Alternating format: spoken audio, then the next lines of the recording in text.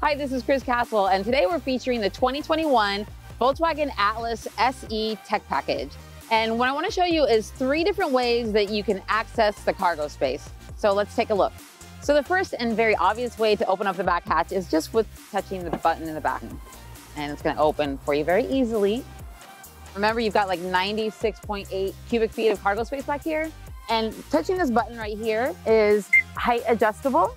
Little Porsche is making some noise. So you can adjust that height. So if your garage um, has a lower door or you're taller or shorter, you can adjust that very easily. So second way is on the button, then you just push the button here and hold it.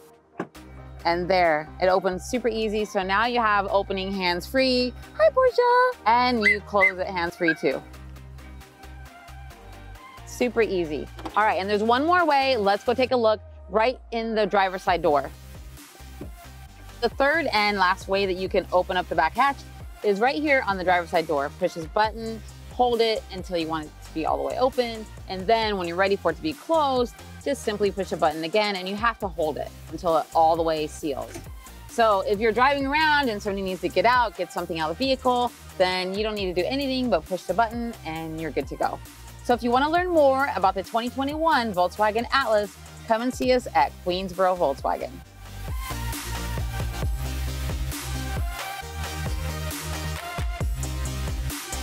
Criss said remember to tell everybody to subscribe to your channel.